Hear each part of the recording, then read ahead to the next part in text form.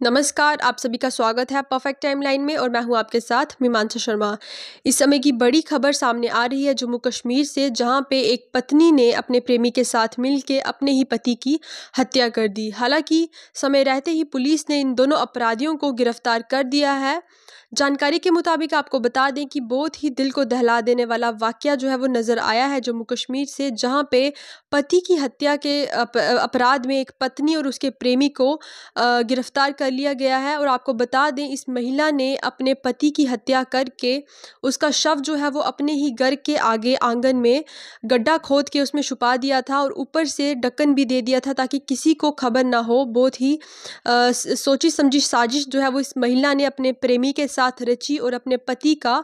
पति की हत्या जो है वो की। पुलिस ने इन दोनों अपराधियों को समय रहते ही गिरफ़्तार कर लिया है और अभी आगे की कार्रवाई जो है वो चल रही है। आप अगर पूरा मामला सुनेंगे तो आप भी हैरान हो जाएँगे, आखिर कैसे जम्मू कश्मीर में भी ऐसी वारदातें जो है वो सुनने को मिल रही हैं। आपको बता दें, ये जो पूरा मामला है, ये बारामूला से नज़र आ रहा है, जहाँ पे एक पत्नी ने अपने प्रेमी के साथ मिलकर अपने ही पति की हत्या कर दी और उसका शव जो है वो अपने घर के आगे ही आँगन में दबा दिया। और हैरानी की बात उस समय नज़र आती है, जब ये महिला अपने ही पति की हत्या करके उसकी लापता होने की कंप्लेंट जो है वो थाने में जाके करवाती है, उसके बाद पुलिस ने कार्रवाई शुरू की और आसपास पूछताछ जो है वो करना शुरू की और पूछताछ में पता चला कि काफ़ी दिनों से ये जो उसका पति था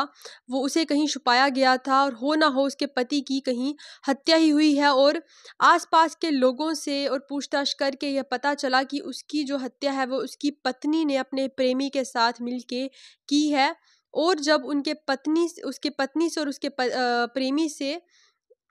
पूछताछ की और उन्होंने अपना जुल्म जो है वो कबूल किया कि हाँ उन्होंने ही ये साजिश रची थी और अपने पति की हत्या करके उसका शव जो है, उसका